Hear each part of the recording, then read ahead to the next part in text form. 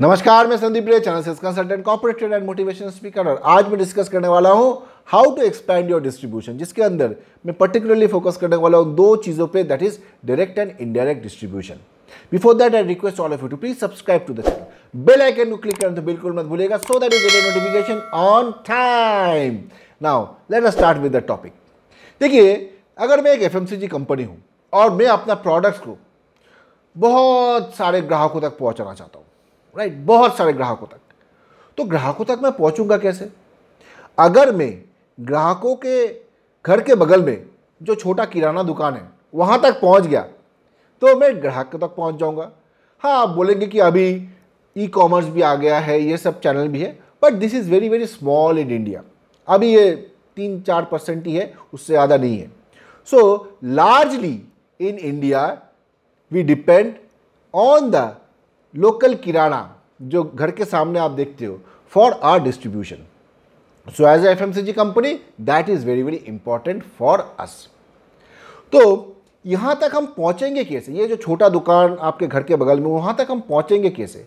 उसके लिए हम दो रूट अपनाते हैं। एक तो डायरेक्ट डिस्ट्रीब्यूशन दूसरा है indirect distribution let me just explain to you what are this two with some illustration देखिए डिस्ट्रीब्यूशन में क्या होता है?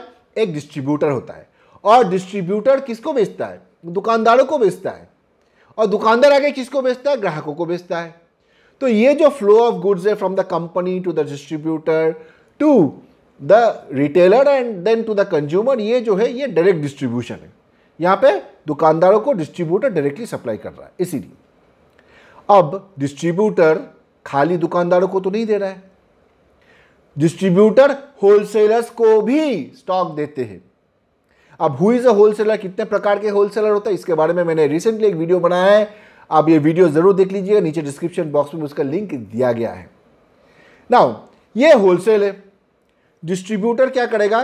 पहुँचना चाहता है, और भी छोटे छोटे दुकानदारों तक वो नहीं पहुँच पा रहा इन दुकानों तक। तो वो तो वो क्या करेगा? वो होलसेलर को देगा। और होलसेल में आके ये छोटे छोटे दुकानदार, जो उसके डायरेक्ट डिस्ट्रीब्यूशन में नहीं आता है, वो होलसेल से जाएगा। अपने दुकानों में उस प्रोडक्ट को रखेगा और फिर आगे ग्राहकों को बेचेगा। तो यहाँ पे डिस्ट्रीब्यूटर डायरेक्टली इन छोटे दुकानदारों तक नहीं पहुँच पा रहा है। वो इनडायरेक्टली पहुँच रहा है थ्रू द होलसेलर तो इसीलिए हम लोग इसको कहते हैं इनडायरेक्ट डिस्ट्रीब्यूशन अगर आपको कवरेज बढ़ाना है तो आपको ये दोनों चीज़ों पे ध्यान देना होगा। Direct distribution and indirect distribution अगर ये दोनों पे आपने ध्यान दिया और ये दोनों बढ़ गया तो क्या बढ़ेगा पता है आपको? न्यूमरिक डिस्ट्रीब्यूशन बढ़ जाएगा। न्यूमरिक डिस्ट्रीब्यूशन के बारे में मैंने डिटेल वीडियो बनाया है। ये आप चेक कर लीजिएगा, नीचे डिस्क्रिप्शन बॉक्स में उसका लिंक दिया गया है। तो न्यूमरिक डिस्ट्रीब्यूशन बढ़ेगा मतलब कंपनी का कवरेज बढ़ रहा है, आपका प्रोडक्ट ज़्यादा से ज़्यादा दुकानों तक पहुँच रहा है, ज़्यादा से ज़्यादा ग्राहक आपका बन रहा है और you are able to establish your brand in the market तो this is about direct and indirect distribution Try to understand this and apply it in your business. Thanks a lot for watching this video. Please don't forget to like, share and subscribe. I'll be back with more, more videos. Thank you.